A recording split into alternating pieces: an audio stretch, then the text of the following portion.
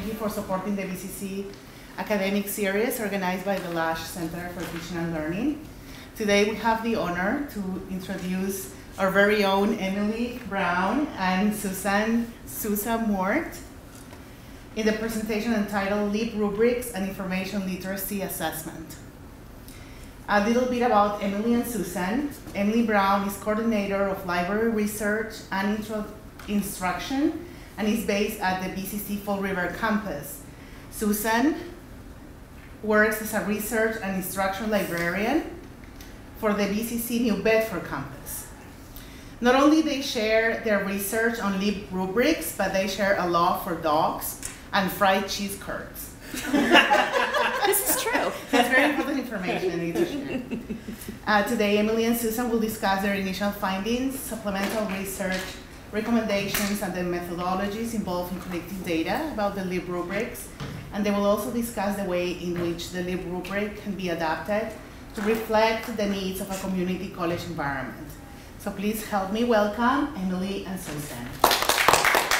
Thank you. So I guess we don't need to do our general Good. intro. That was fabulous. Thank you.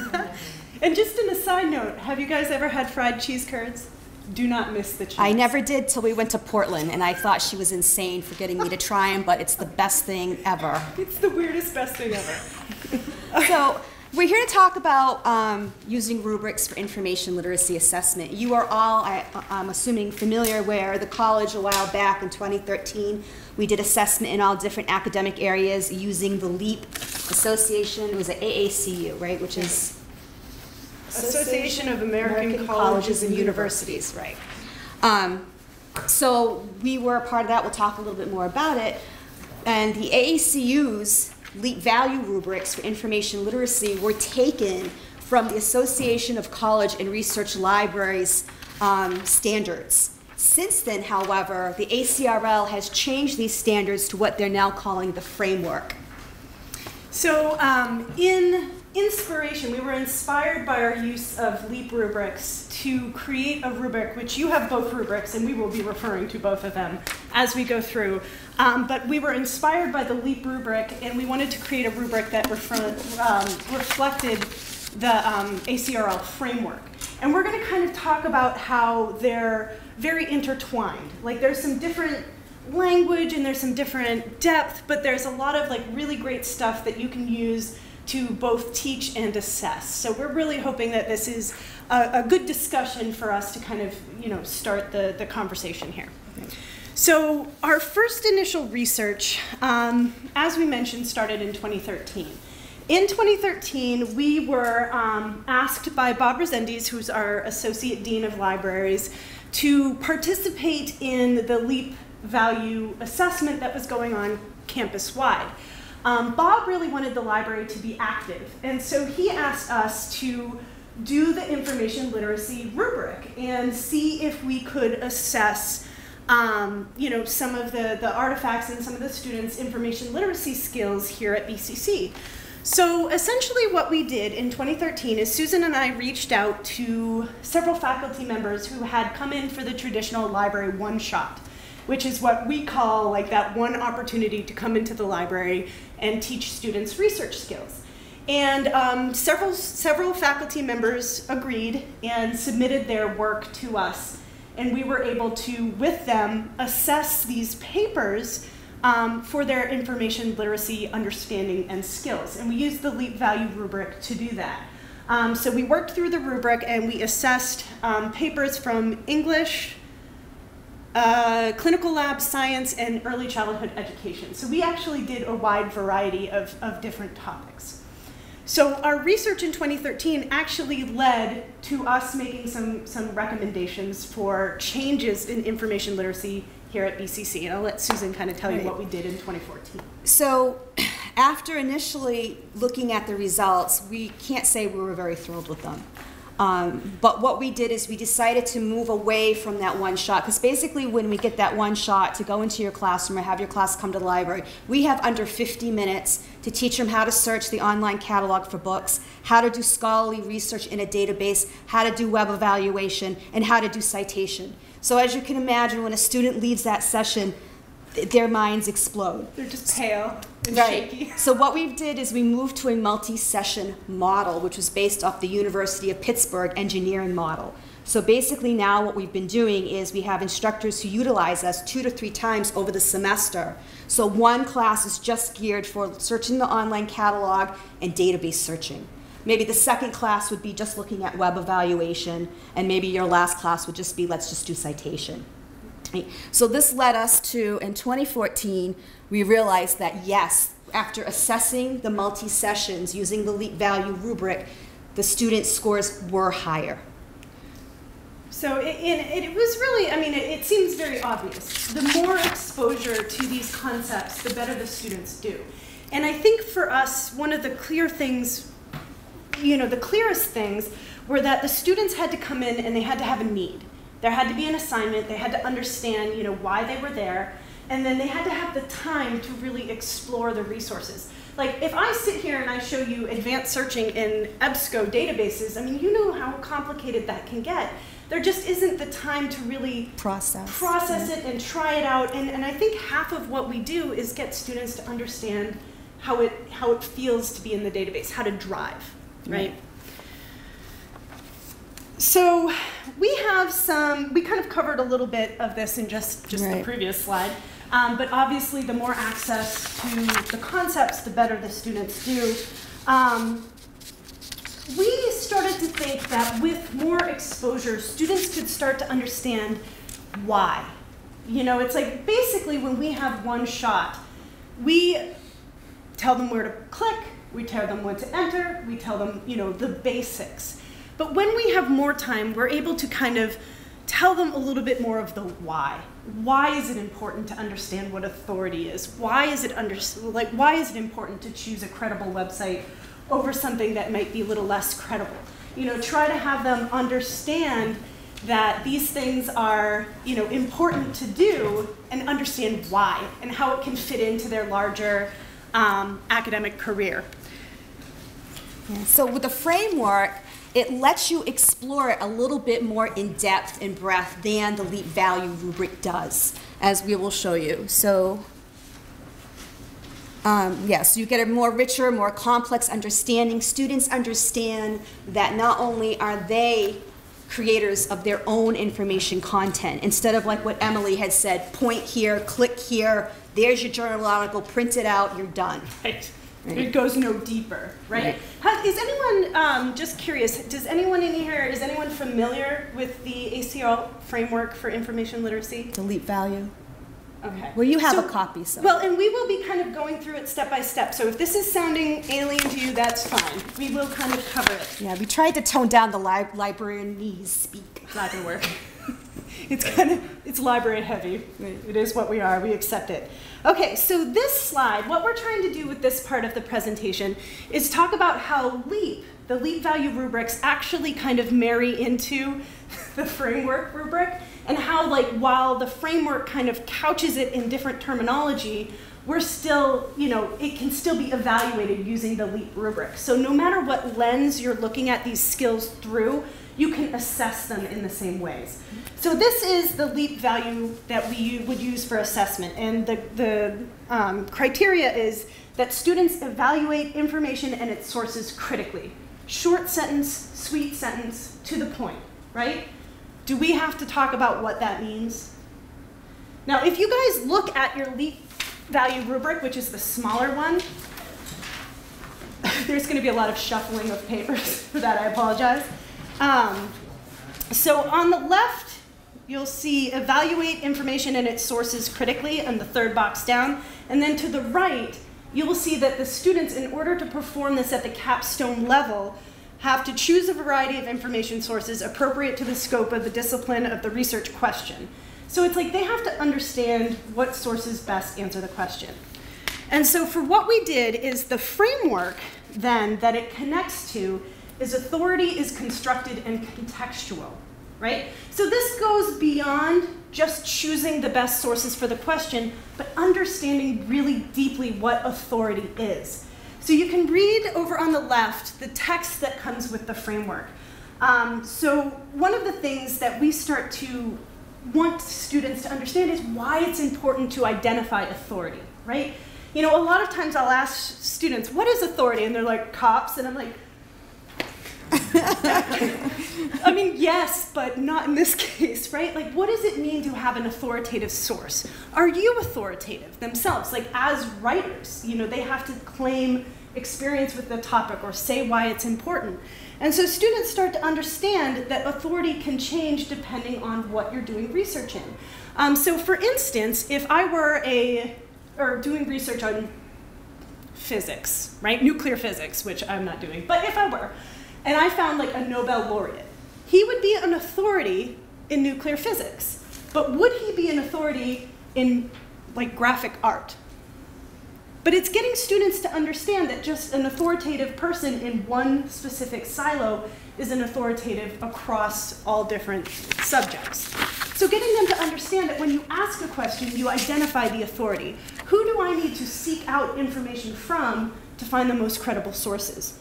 So then you start talking about authority, like different questions require different authority levels. Maybe they don't need a Nobel laureate. You know, maybe they just need, you know, their local congressman or information from their local teachers. You know, it depends on what their question is. Um, so they understand in the framework, they understand that authority is contextual according to the question. It also pairs with information creation as a process. One of the things I don't think our students understand is that they are creators of information. Every time they write a paper or do that annotated bibliography, they are creating information as well. So when I, I say that to them, you can see the light bulbs kind of go off because they're just looking at themselves as students. I got to get this project done, you know, and that's it. Um, and we also talk about in the classroom is just like the different ways that information can come at us. So, for example, when we had the bomb blast going on over in Belgium, um, that came out to me immediately. I got that in my Twitter feed. So we talked to the students about that, right? So information can come at us more quickly in a social media standpoint. And then perhaps later on, someone down the line will write a journal article doing studies on perhaps post traumatic stress syndrome with that event. And then maybe a little bit more on, there'll be a book out of it. So, it, so they can understand that research is a process. Right. Um, right. Well, and if I can add, like, how many times have you collected works from your students and it's just a list of websites? And you say to them, you know, well, how deep is this information that you're actually digging into? Is it is it deep or is it shallow? And they will admit, you know, this is shallow information. It's on the web. Basically, a web page is relatively short. And so you say to them, well, how long did it take to create, let's say, a book on a topic versus a website? And they're like, oh, well, it took a, a book a lot longer to write than a website. And it's like, well, why aren't you using the book? Oh, well, it will take too long to read. And it's like, have you heard of this thing called the index and like the table of contents and how you can find things? And so part of what this does is it introduces them to the concept of the, the source as a different depth of information. Correct. So you're, you're, you're looking at, when you're looking at different types of sources, you're looking at different types of information, all of which can be beneficial.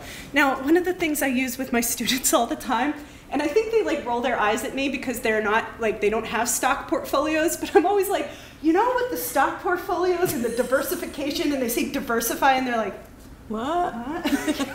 what do you mean? And I'm like, okay. So we take a step back and we talk about like why do you diversify a stock portfolio? So you don't lose all your money, right? You didn't put it all in one basket and then the stock market crashes and then it goes. Think of research the same way, right? If you're getting a variety of sources, you're getting a variety of information. Right. And those different kinds of information can be different across the different types of sources. So access the needed information. So this is another of the LEAP rubric um, components, which is essentially that they access the information that is needed. They go and they went out and they found sufficient evidence for their thesis. Yep, you ready? So we figured that went into the framework of searching as strategic exploration. I think students, and correct me if I'm wrong, they expect it to be a point or like search result done experience, right? And what we try to teach them with this framework concept is that searching is a strategic process. You have to have a strategy when you go out and you start searching. And a lot of this has to do with identifying the authority on your question. You know, thinking about what sources make the most sense. You know, it's starting to get students to kind of go past that, I'm going to Google it, and go, it's funny that you, yeah, you're on point. Okay, so like go past that information, like foraging stage into really deep research. So students understand that research is a process of what is sometimes discovery, sometimes serendipity. You know, how many times have we done research and we found this like little footnote, and we've gone to that footnote and been like, this is the best source. Having students understand their research actually leads to more sources, and that by just a close observant reading, they can find other sources. And just to add on to that, what I tell the students, it's like a breadcrumb trail. Like, don't look at your sources just bam, I've got, I need three sources for this paper. So I'm gonna do this one, this one, this one. Always look at the, you know, what is the book saying at the end when they say, you know, suggested resources or more resources. Look at that journal article, look at the end. What are they citing as research as well? We can always get that journal for you, we can get that book for you. Um, and and again, and that's we, we try to show them that in these instruction classes as we're doing database searching, that it is a piece of a puzzle. That you can find, just like you said, that one footnote that will lead you to some wonderful information that you can then use in your paper. Right. And I think students have a hard time kind of grasping that it's like not a simple Yeah, process. they want it instantly. Right. Yeah. So, and I, and I think what this and this framework does is it allows us to see this broader sense of what information literacy could be. Right. So the next one would be the LEAP value rubric. Do you have the value rubric with you? Somewhere. You just had it. I just had it. I don't know how to do that. Anyway, we got it? Thanks. Mm. So if you look at what your capstone is, access and use information ethically and legally, of course, this is the day I left my glasses at home. It actually says, would you read that for me? What's the capstone? I had to find it. Okay. Access is um, students use correctly all of the following information use strategies. Use of citations and references, choice of paraphrasing, summary, or quoting, using information in ways that are true to the original context, distinguishing between common knowledge and ideas requiring attribution, and demonstrate a full understanding of the ethical and legal res- uh, restrictions on the use of published confidential Right. and or proprietary information. Are expecting a lot. So basically, all that is saying is that you need to cite your sources, and that kind of Right. leaves it like that. With the framework, we actually can explore a little bit further and give it a more, more richer, complex, dynamic um, definition. So, for example, one of the frameworks that we think fits into this is that information has value. Um, especially for those, you know, what we talk would be that voices that might be marginalized. I'm so glad Margaret Cox is here because a great example was that um, filmmaker who, um, what was her name? Um, Something Solomon. Right. And she actually is a Caribbean film, uh, she's a film producer, writer, and she's given a voice to these people in the Caribbean to explore the arts. And she's got a very active Facebook page, very active Twitter. And so that here's where we look at where, you know, you're not just looking at this one kind of point of view, that now we can go and look at information and see other points of view per what people's perspectives are. So a traditional publishing, you know, um, setup, you're going to have marginalized voices. Not everyone's going to get published in a traditional sense. And so we're actually in kind of like a brave new world of technology and new voices. And we're actually, we have access. We were talking about the hashtag um, Black Lives Matter. You talk about DeRay McKesson, who's going to run for um, mayor of Detroit, who has basically been a huge activist on something like Twitter and being able to, you know, have these conversations in a forum like that, which is in a traditional publication forum. And so, you know, we talk about how you have like all of this information that students are dealing with right now and that all of it does have Right. value. And the other piece of it is too is like when we look at information, are they trying to sell us something? Are they trying to persuade us their point of view? Um, is it just purely academic in matter? Are we just at a U.S. Census site, U.S. government site, just looking at statistics? And it really makes them understand you know, and I always use, especially this time of year, it's perfect for information uh, instruction on this, is like the political meme, memes that are coming out. And I really have the students explore, like, okay, let's look at this political meme. They're saying this candidate does this. Let's go and do some digging and find out how accurate is this. And it really makes them, it just gives more meat to it than just saying, okay, make sure to cite your sources, because, you know, we don't want plagiarism, that sort of thing. So it just gives it that little bit more layer. Well, and you know, also speaking to the information has value, it's like we try to to impress upon the students that the more credible the source you use, the more credible is your argument. You know, if I'm, let's say, one of the an example that I've used recently is like factory farming.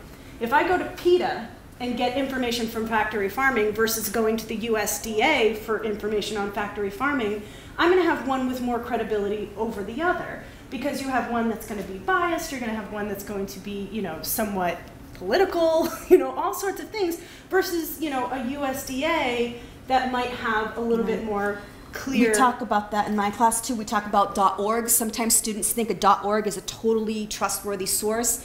But again, depending if you're an NRA, National Rifle Association, looking for stuff on gun control versus momsagainstguns.org, you're going to find very different information. Right, and so like the information that they're using to support their arguments has value towards their own arguments. And so trying to get them to see that putting a little bit more effort into it will help them write a better paper or support their, their arguments with better evidence. Right?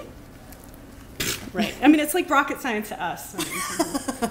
Yeah. Okay, so the next is that students determine the extent of information needed, which means that they understand that they have to go and get a certain amount of information, right? They have to kind of say, okay, you know, if my question requires just websites, you know, they can go out and just get those, but if their question, if their research question requires them to go further and get a wide variety of sources, that they understand that, right? And so that's the LEAP value rubric part of it. We felt that this tied in really tightly to the framework concept of um, research is inquiry, right? And this is just kind of a way to go ahead and say that research is questioning, right? Students, I think, oftentimes, I have been faced with students who kind of say, you know, um, I'm trying to remember what one student said to me one day. Uh, I, th- I want to say it was like something about welfare. Like all people who are on welfare, you know, are actually lazy. And I'm like, where are you getting that information? And so it's like, like if they questioned rather than started with a statement, if they start with an inquiry, like a, they're inquiring what's going on, and they learn to question, and that research often raises other questions. Mm-hmm. You know that this isn't like you sometimes with research you don't find a clear answer. It's not like you get to the mm-hmm. end of the research and you're like, Right. I'm done. There's no more questions to be asked, right? And so research's inquiry really uh, impresses upon students that they need to rec- uh, recognize that your research oftentimes focuses on unresolved questions. You know, as they're reading a paper, are they identifying what questions the author is raising? You know, oftentimes when we read scholarly articles, the author themselves will say, these are the questions that haven't been answered Or yet more research needs to be done on in this, topic. Right, and so they understand, okay, this isn't like, there isn't an, a stop sign at the end of the road, you know, that there, there's actually more and more and more. You know, it's like the stuff doesn't exist in a vacuum, right? So students understand that debate is part of the research process. You know, one of the things that we talk about so much is that, you know, it's not like someone publishes a paper and everyone's like, good stuff, right? Because people will have arguments about it. They will say, well, what about this point? What about that point? Hey, have you thought about this? And that's the nature of academic publishing, right? People will publish papers in response to other papers. People will build on people's research. Like, it's not something that just kind of stops. So, th- for them to kind of say, you know, how is debate a part of this issue? And so, like, they can identify within the papers literature reviews, how they're kind of commenting on what the people who came before them did and how that impacts their own research. And then the students also learn to question their sources. You know, not that everything should be questioned, but you know, you're reading something, if you disagree with it, that's not a bad thing. You know, question it. Question where it came from. That leads to further research, right? It leads to further inquiry. And you know, a great uh, research tool that we see a lot of faculty give is doing the argumentative essay, which really opens up students' eye, where they're forced to choose what we call a hot button topic. Climate change, believe it or not, that's still a hot button topic.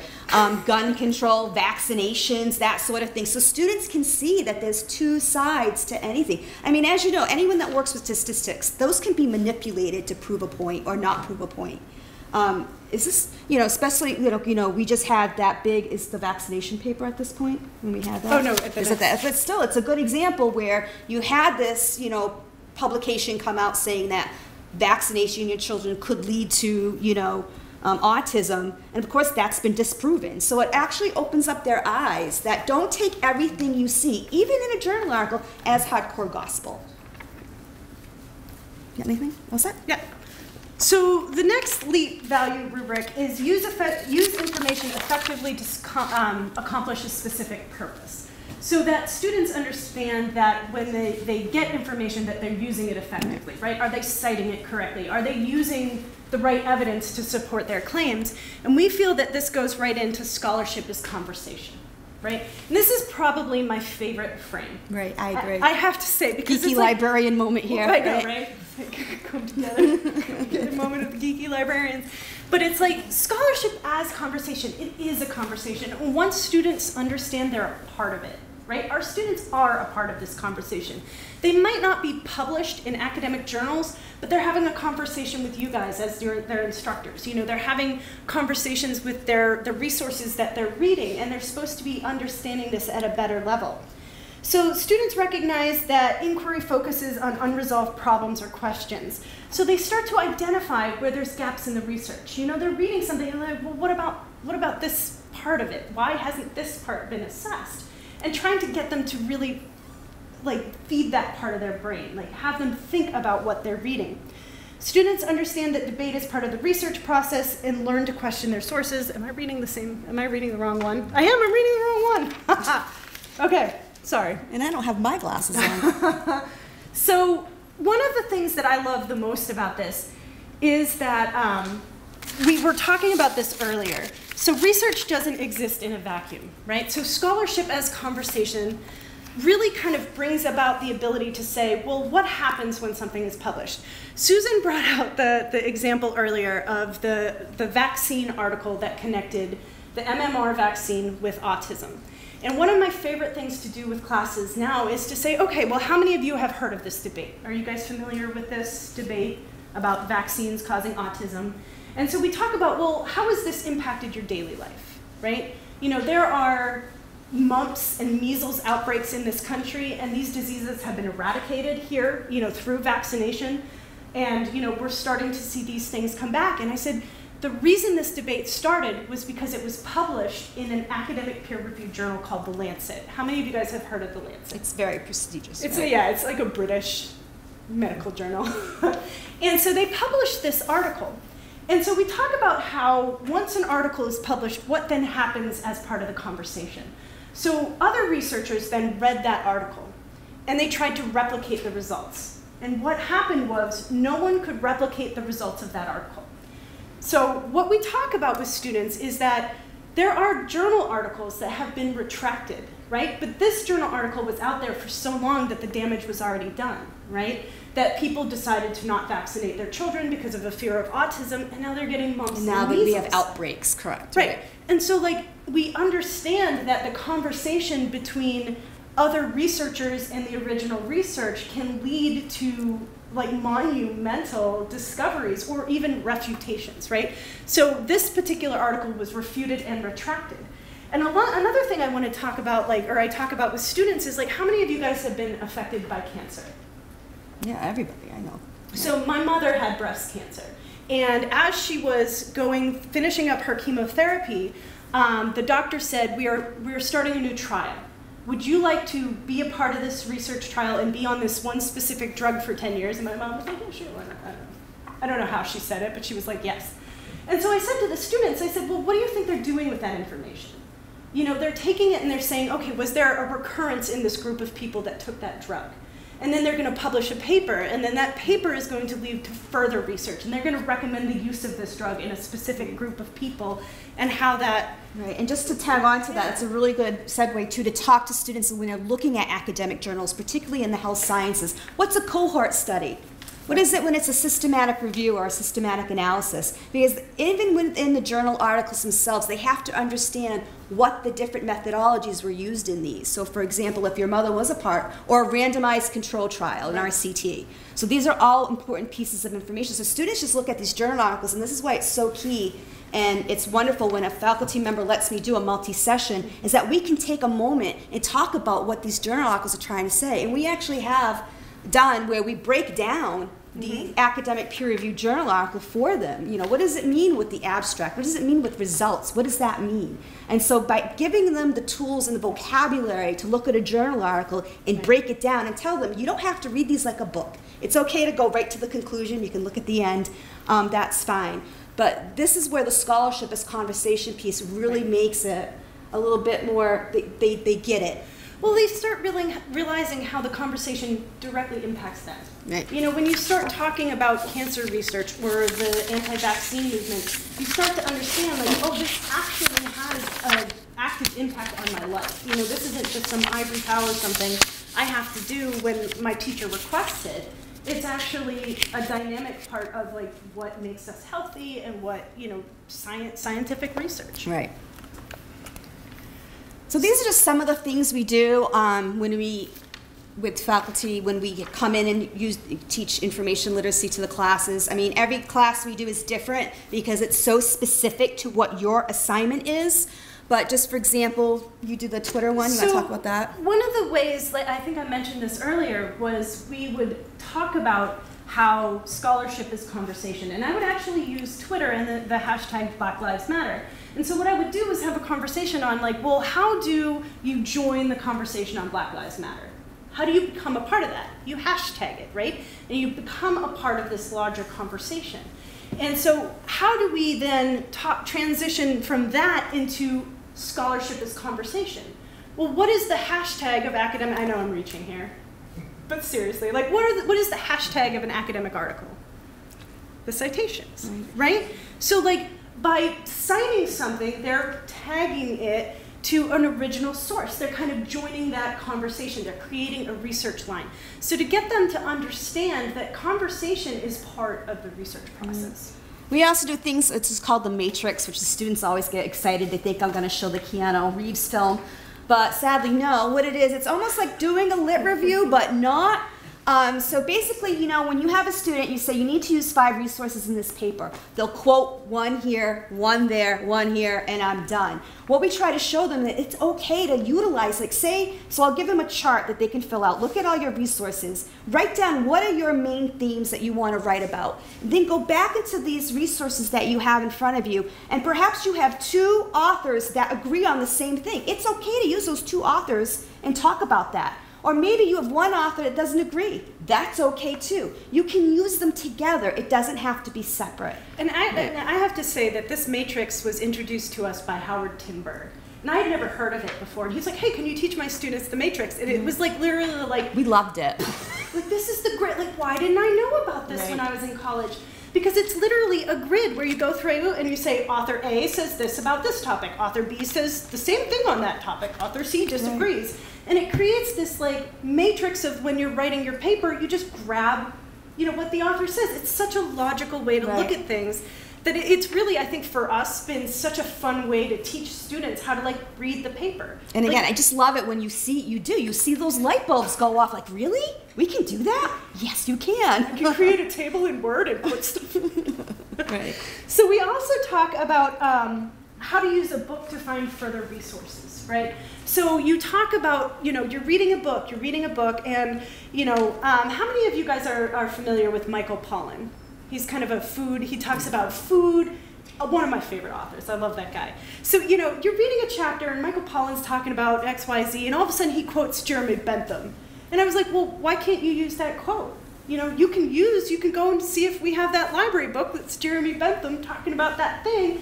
And there you've got yet another source. It's like reading to observe. And so then showing them how you can use one source to then find more and more and more. Right. Right. Read those citations. Use the footnotes. Understand that once you find that perfect thing, it can just be like an explosion of really good resources. And of course, then we do the straight out. We've done the literature reviews, which is another great tool to have students look at all their different sources and whether they agree or disagree.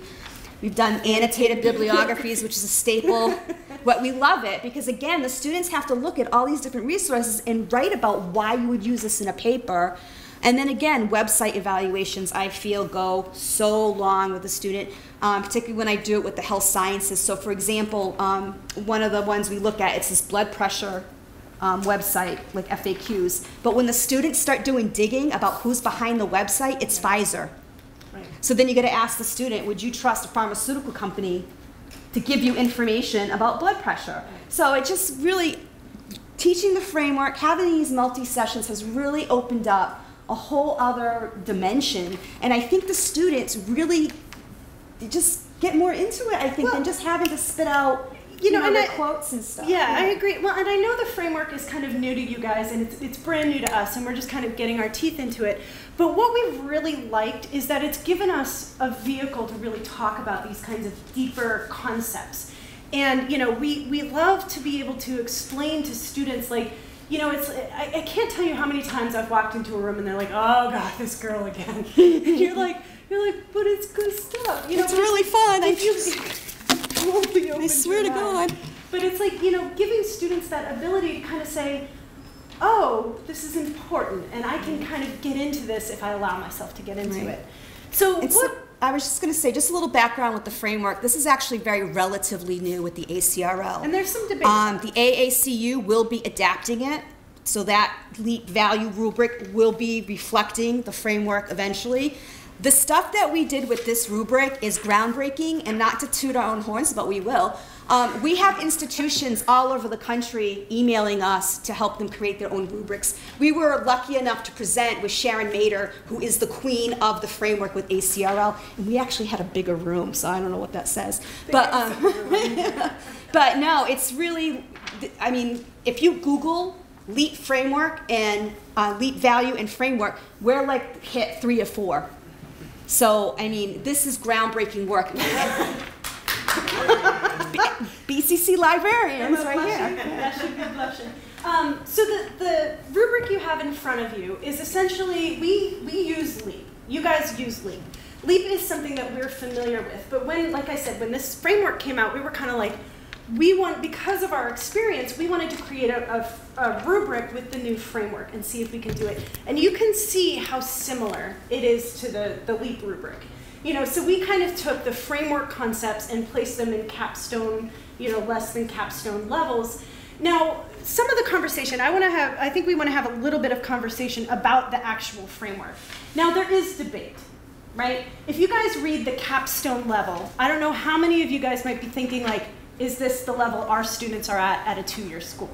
And we said that. We're like, maybe for our students, we would want the capstone to be at a level three. You know, that's where we want to get them. And then the four year schools are where they get to that, that four.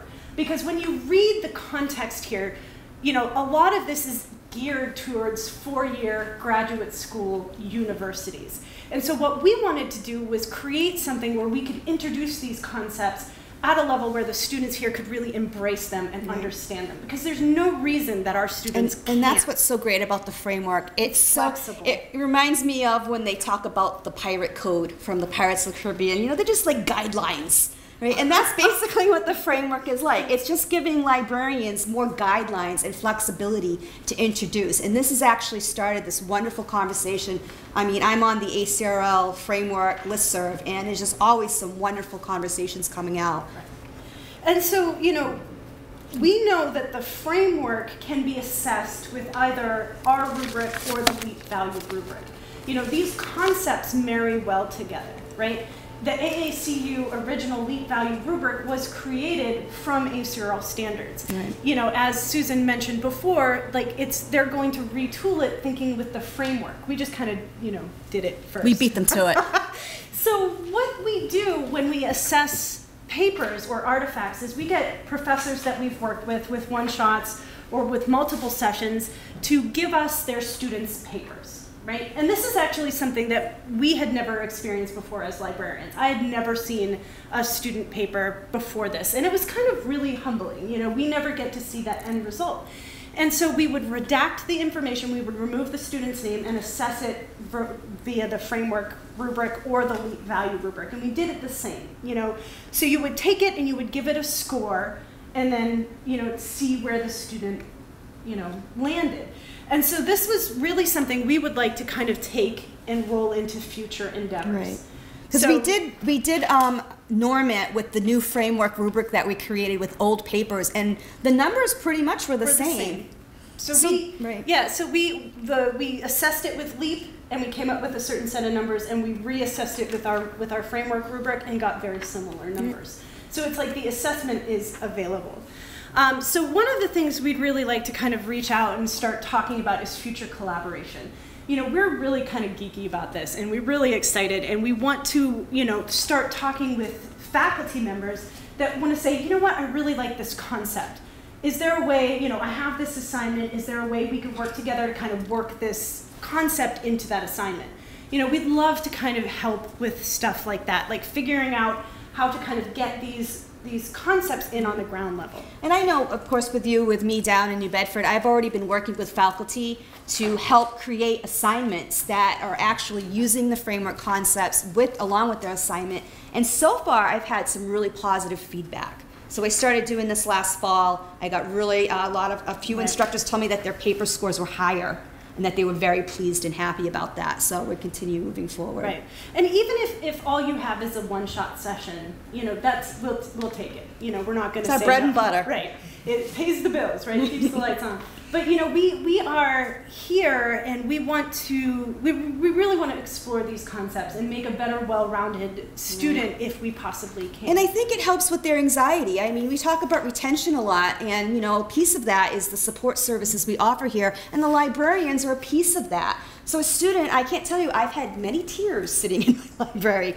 But once you sit down with them and you help them out, the relief is just palpable. I mean, you can see it in their faces, and like, you know, I can come to you for help, and you can help me with this assignment. Well, and- even just understanding that, like, they're walking in the door as college freshmen. You know, this isn't a skill that they have, it's a skill that they learn, you know, and so part of being here is part of learning academic research.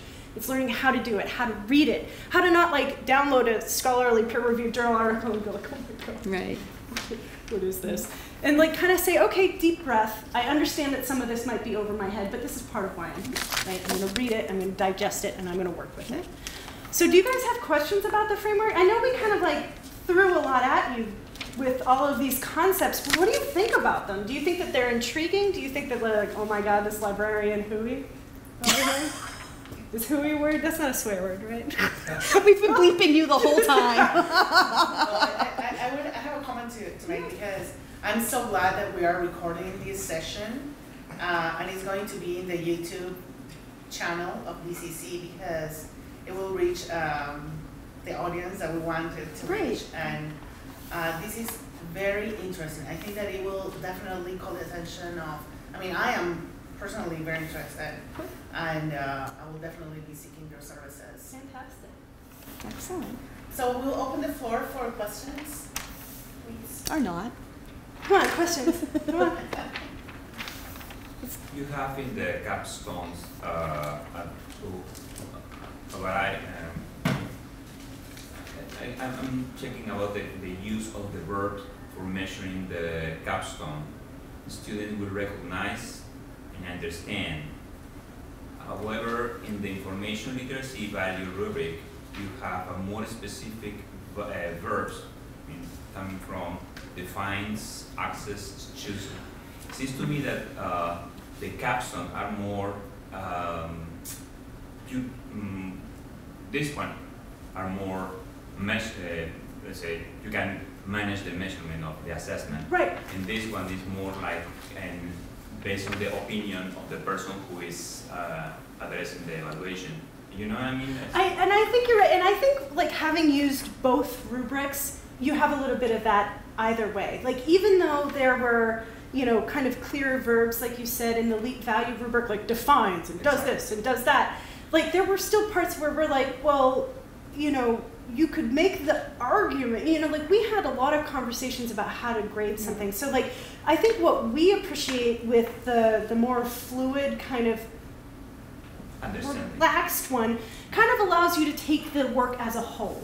You know, instead of like being so right, right. holistically. And and I think that this needs some tweaking. I do. And, and we should have prefaced it too. This is only version 2.0. Right. So we're still, this is a, an organic process. Yeah, it's not finished As a matter of fact, we had a wonderful conversation with a university out of Maryland. They called us very interested and they had some great ideas. So Yeah. we're going to be working with them to tweak it even more. I mean, this is just Well, and brand I, new. I think what we would like to see is if you were interested in using these framework concepts and you took this and you took a big giant red pen to it and did something Right. that was a little bit more something that was easier for you to Right. assess, we'd love to see that. Right. You know, really what we did is we took the framework and tried to form it into something that we could use for assessment.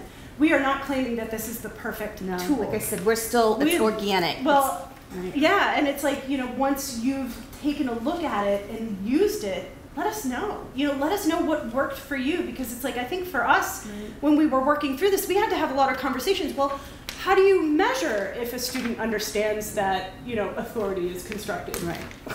Like I said, that conversation with the university we had just a couple weeks ago, they had some really great ideas. We were like, bring it. I'm like, you know, take it, tweak it. That's why our copyright license is, you know, do whatever you whatever you want want. with it, basically. And, um, you know, when we're hoping to hear back, and who knows, this might be tweaked again. So Well, we'd love to just a big learning Yeah. process. I That's a really, good I really observation. like so much that it's so open to different sources, like this framework. Yes, as you were talking about scholarly interaction, uh, scholarly community, including the students that are part of it. And in this Yes. dialogue, Yes. right? That's And the part they need to we're get. talking about the academic journals that usually we refer them to or they're looking for when they make a search in the library. But also, as you said, media, you know, you, you mentioned Margaret's use of documentary. Yeah. And I'm, I'm sure artwork or pictures Well, that might, Yeah, well, it's like I think I think what the framework does in a way is kind of helps to inspire like that aha, aha moment. You know, one of the things I was I was boring Susan to death the other day. Never. Well, I was talking like for some reason I got it in my mind to start researching animal consciousness. And so I'm researching animal consciousness, thinking it's like, oh, it's going to be an open and shut case. You know, animals are conscious, case closed. And then it was like, but what is consciousness? And I'm like, that's a good question. How do you measure consciousness? Is consciousness different in humans than in cats or in dogs or in cows? Like, does, does consciousness evolve differently? And it just opened up this whole, like, what I thought was going to be a relatively, like, simple, like, research question was just like, Right. I'm No, reading and articles it's- on valid. fish Or you- Or the opposite end, when you have a student that wants to do research on a particular area, and guess what? There's not anything really done in this field. And that happens too, and that's Yeah. okay. You gotta tell them that, you know, that's okay. Just means that it's a brand new field, it's being explored. So it, it's kind of like I think that, that students just kind of need to understand that this is a this is a this is a different world, and once they they become comfortable in it, it makes sense. Right. And so it's just getting them to be comfortable with it. And like I always tell them, my favorite quote from Einstein is if we knew what we were doing, it would not be called research. Right. Any other questions? Excellent. Thank you so much for Thank coming. so we much. appreciate it.